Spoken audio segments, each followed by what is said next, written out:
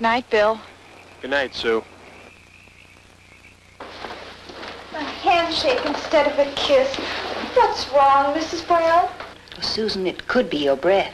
I use a mouthwash. My old family favorite. You sure it works long enough? Now you've got me worried. Never fear, 100's here. 100? Colgate 100. The mouthwash that tastes stronger, works longer against germs.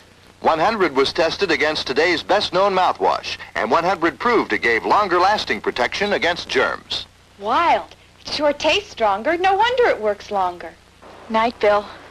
Good night, Sue. Never fear. 100's here. If boys have been shaking your hand, shake hands with germ-killing Colgate 100, the new mouthwash that tastes stronger, works longer.